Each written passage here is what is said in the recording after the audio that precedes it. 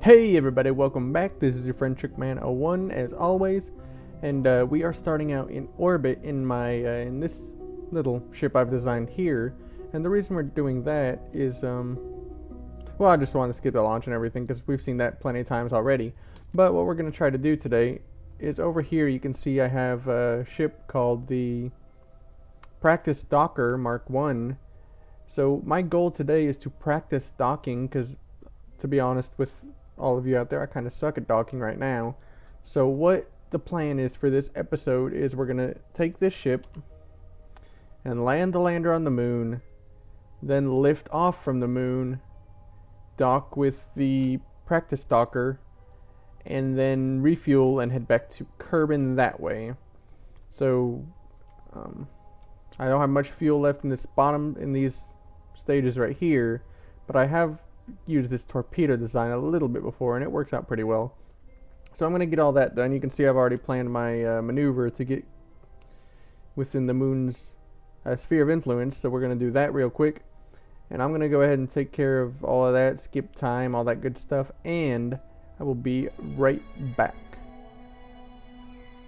Alright guys, and we are back. And as you can see, we've gotten ourselves into position for an encounter with the moon. And our periapsis is just below 20 kilometers from the moon. So what we're going to do is we're going to go ahead and land there. And then, um, like I said, we're going to ditch basically the bottom part of this rocket, which still has a lot of fuel. I really love this design so far. But anyways, uh, we're going to ditch this whole bottom part. And then we're going to use land with this top part here. And then we're going to take off with it and dock with um, the practice docker over here and the reason we're going to do that is because I want to get used to being able to rendezvous from uh, different celestial bodies with the docking ship. That way we can that way I can get more practice at it and that way I can use it the way I want to use it for deep space deep space missions in the future. So we're just gonna fast forward here real quick till we get to the periapsis and then we're going to uh, go ahead and initiate the landing procedures. Alright, so we are in encounter with the moon. As you can see, if we don't land, we'll be flung out into interstellar, or not, we'll be flung out of Kerbin's sphere of influence anyways. Alright, so let's see, actually. Alright, so if we land right about here, we should be able to rendezvous with uh, the other ship pretty easily, I think. But we want to start a little bit early. Probably about right there. So let's face retrograde and we're just going to burn with the nuclear engines. I think I'm going to call this design the torpedo because that's what it looks like, a torpedo. Or a bowling pin. We could call it the bowling pin. I don't know. What do you guys think?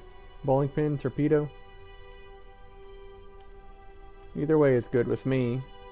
I'm going to try to get as much as I can out of these engines, though. Shouldn't take too terribly much to, first of all, get us into orbit around the moon, and second of all, get us to a moon or landing. See, this is uh, escalating quite quickly over here.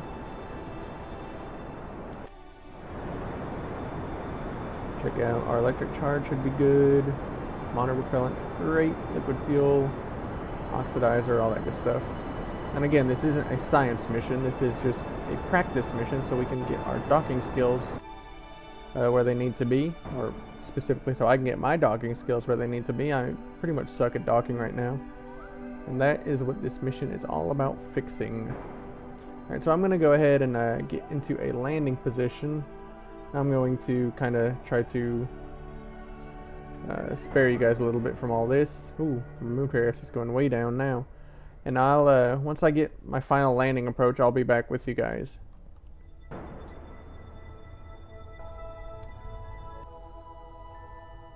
Alright guys, we are back, and as you can see, we've gone ahead and landed on the moon. Um, we have our lander right here, we have the, the practice docker up here, so what we need to do now is take off and go kind of, I think, this way.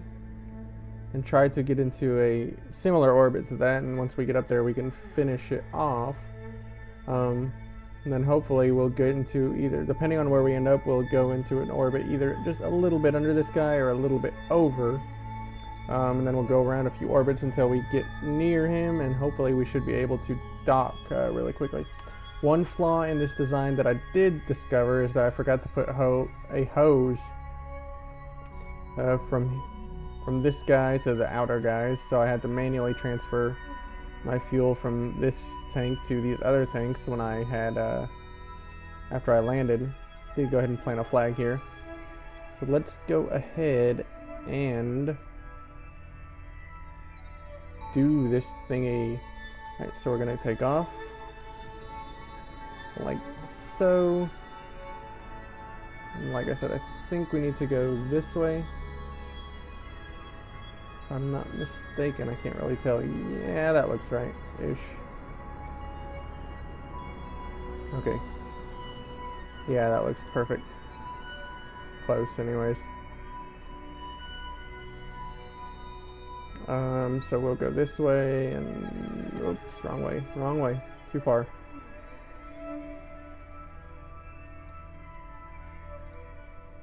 So like I said, right here, we're just really trying to get into orbit.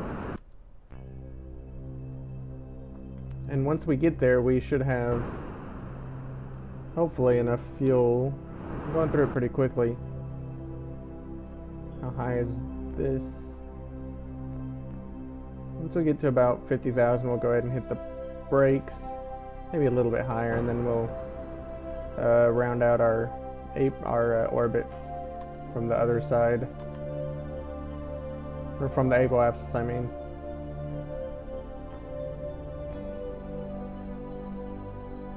Alrighty, and right about there should work. So let us do this. And I'm hoping that this docking isn't too hard. Uh, some of the other YouTubers out there, I'm sorry, there's something really loud on the road. do apologize for that. Um, not that I have much control over it, but that was a motorcycle or something. But anyways, um, I forgot what I was talking about now. Oh yeah, Kurt J. Mac and Z-Stone, a bunch of them make it look make docking look easy, but I've never been very good at it. So my hope here is to uh, be able to basically the whole goal of this episode is to just try to um all right that's good so we'll set this as our target Wow, we are farther off than I would like. Uh, getting closer. Talk about having the sun in your eyes. 2.7. There's a 20 kilometer difference there. 0.6.7. 0.7. 0.6. Alright, so that's where we're going to go for now. We have an 8 second burn. Um, and our node's coming up really fast too, so we have to go ahead and try to find our target. I was going to go ahead and transfer a little more fuel from the outside to this guy, but uh, how much fuel do we have left there? 174, and each of these tanks holds 180. So we'll do the math on that just a hair later. And we should have enough fuel to do these maneuvers that I want to do and hopefully dock and then we can get some more fuel from the um, from the practice docker as I have come to call it. Jack is freaking out. By the way, we have, I don't know if I mentioned this, we have Jack Kerman with us. He is uh, freaking out. That being said, he is one of the best young up-and-coming pilots from the Kerbin Space Academy. Oh, 9.6 kilometers, so we are looking pretty good, pretty good. We'll quick save right there. Um, we're about 23 minutes away, so I'm going to off camera, I'm going to refill my fuel tanks to the best of my ability. And maybe try to make this intersect just a little bit closer. It's not too far off now, but once we get over here, I'll definitely get back with you guys so we can try to do our final docking maneuvers. I'm going to try to get this to less than a kilometer as well, so uh, let's see what we can do. Alright, so I will see you guys as soon as I'm done with that stuff.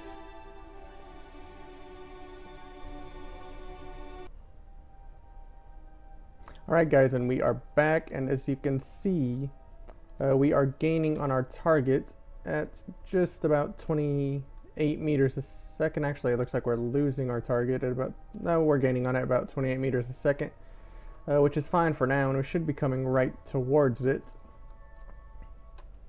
Um, so yeah, we should be on schedule to intersect right around here-ish.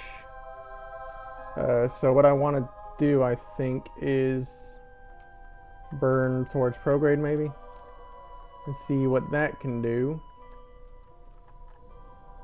I'm trying to get this closer.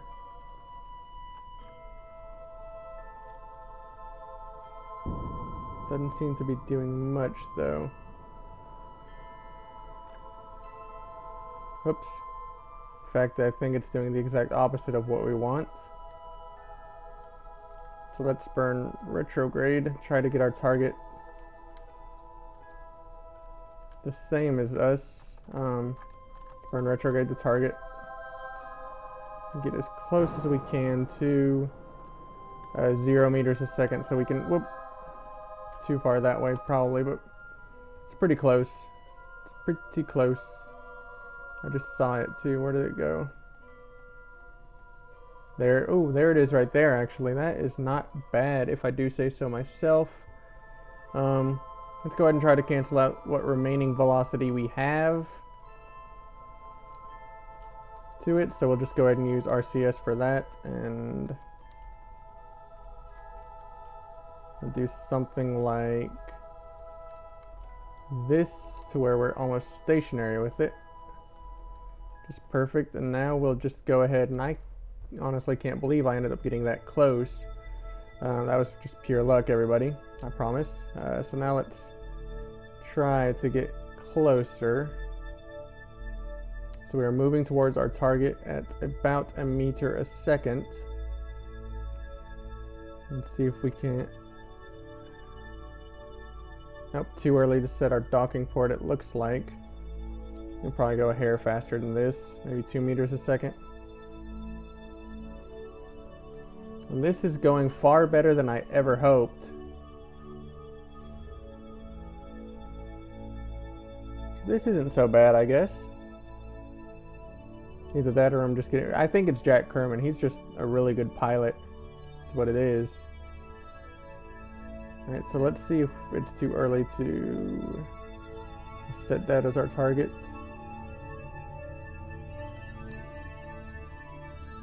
Alright, let's cancel out all of our velocity at this point.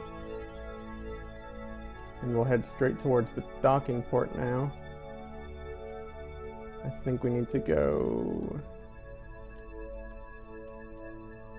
Whoop. Um, something like this, I suppose.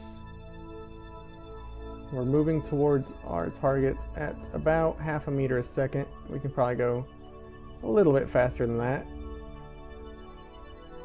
we should be aiming right for this docking port. So let's go ahead and uh, also try to start lining up properly. And then, oops, we can also do this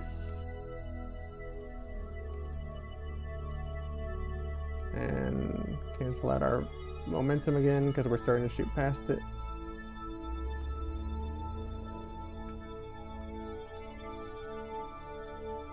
Alright, and let's move.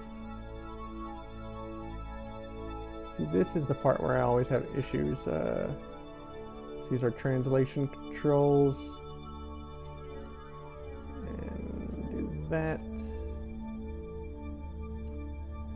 at this point, it's probably, whoops, a good idea to go into chase mode. And do something along these lines.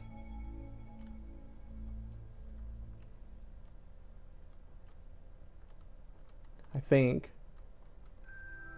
And so we are moving towards our target.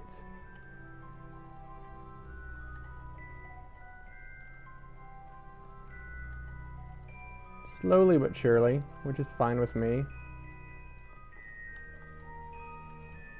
We want to, I believe we want to try to line up. Whoa, whoa, whoa, whoa, too fast, too fast, too fast. No, come back.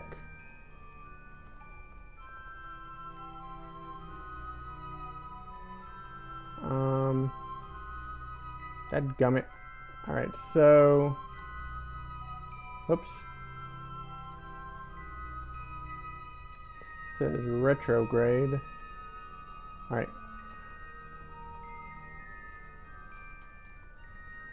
We can do this, guys. I promise we can. So let's head straight towards this docking port.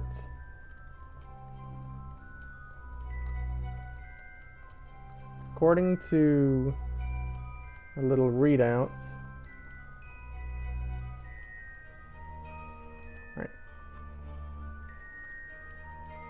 Dang it. Come on.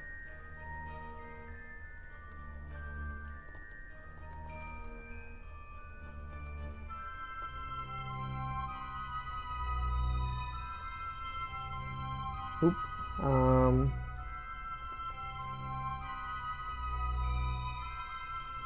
This is a little harder than, it looks, guys. Uh, let's do this.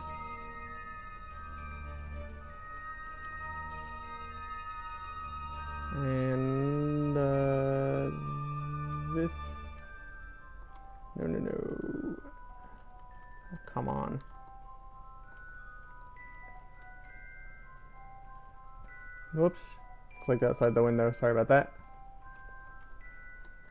Oh, yeah, yeah. I was pressing the wrong button. That would explain that. Right, so we can do this. I know we can do this.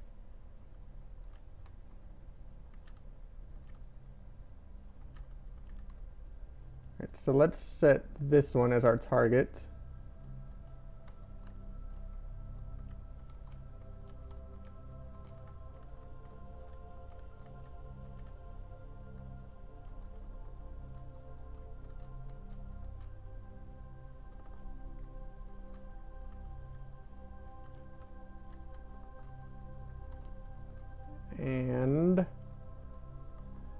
We're getting close, guys. I am terrible at this, aren't I? Urge. Um, up, up, up, up, up, up.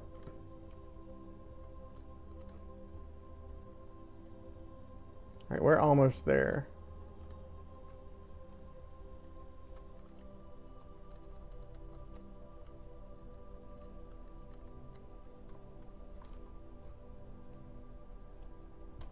Let's move him this way, I suppose. Come on.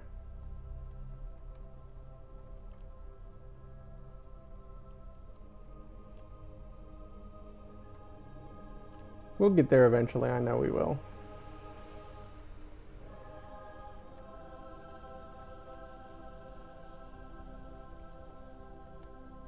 Whoops.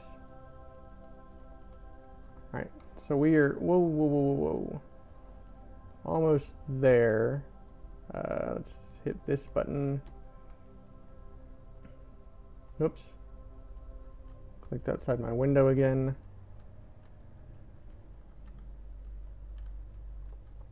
No, no, no, come on. Whatever. We'll go for this docking port, I really don't care.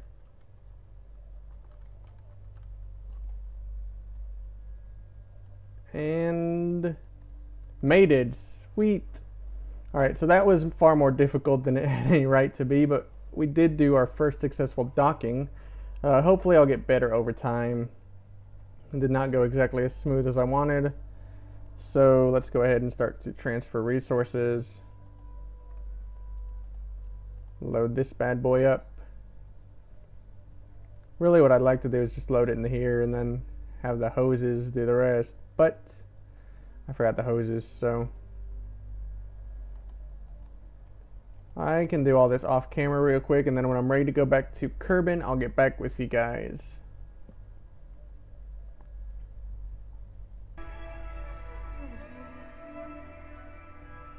Alright guys, so we are back and we have all of our fuel tanks filled up again. Jack Kerman is, uh, I don't know, I guess he has cabin fever or something. He's kind of doing some crazy things. How does it look from his point of view? What can he see? There are no windows in this thing. I guess not. Oh, well, I don't know. Hmm, that might be why he's going a little bit crazy. But anyways, uh, so what we're going to do now is we're going to undock and we're going to do our preparations to go back to uh, Kerbin. So let's... No, I don't want to control from here. I want to undock. And I want to do this. Undocking is going to be much easier than docking.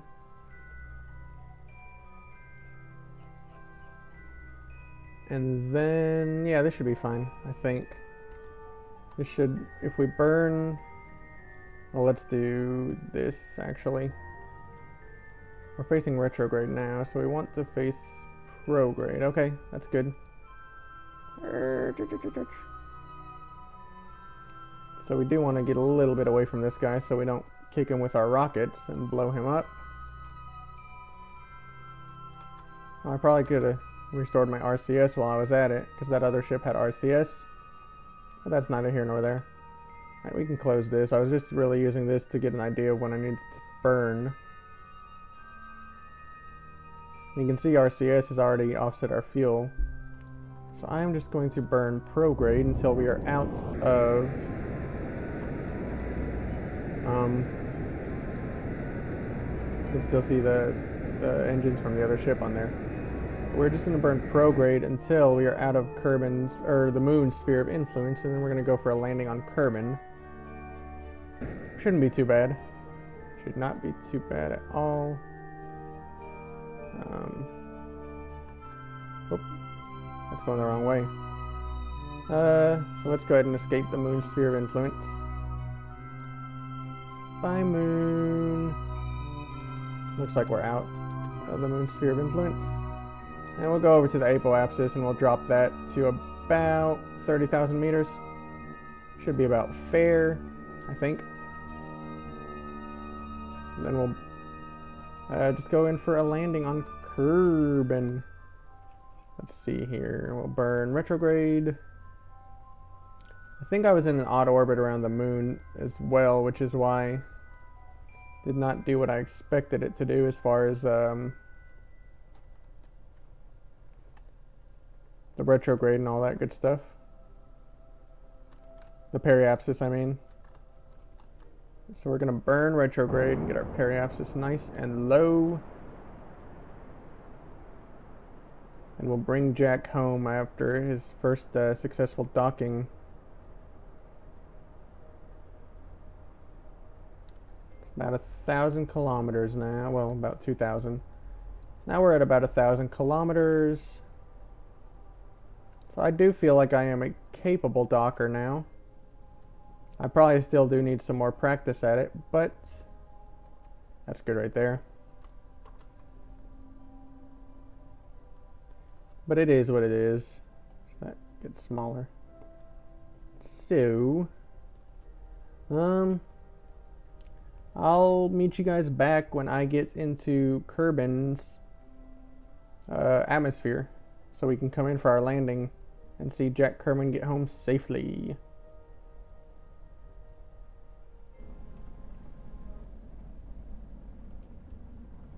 Right guys, we are back and as you can see we have made it to Kerbin's um, atmosphere so we're coming in for a landing with Jack Kerbin. I'm going to go ahead and detach those parts and I was afraid something like that was going to happen so we'll just flip them below us like that and watch them fly away. We can turn off SAS. Oops. And what that should do is that should automatically line us up with our retrograde since we have that nice shaped capsule here. Let's turn on SAS and get lined up with the retrograde and then we'll turn it off again. Whoa! We almost hit the debris from our solar panels. So that was interesting. Is that debris not going to land? Oh, weird. It does look like we're going to make a land landing, or we could land in this nice little crater right here. So let's go a little bit faster, and then we'll pop our chutes very, very shortly.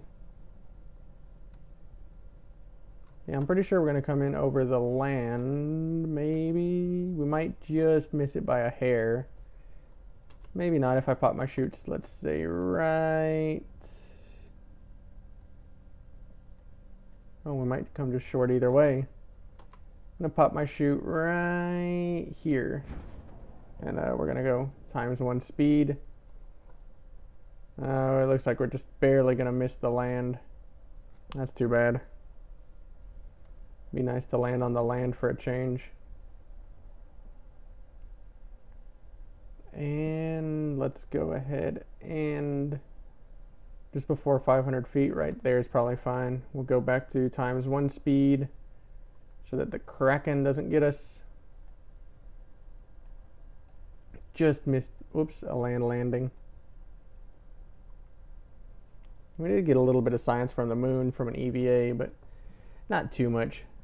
Not too much. So I feel like we were successful in our test. Jack Kerman is our new docking expert. He's going to share his knowledge with the with the rest of the crew. The rest of that Kerbalnauts back home.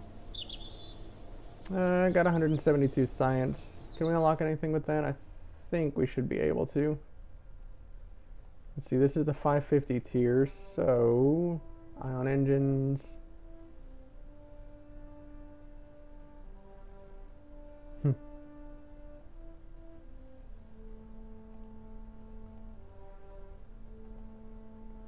do want this stuff too, so I might just hold on until I can get these three things right here. What else can we unlock? Spaceplane stuff, spaceplane stuff, this stuff. Very little torque in that. Yeah, I think I'm just going to wait until I get um, this one and then we'll use this.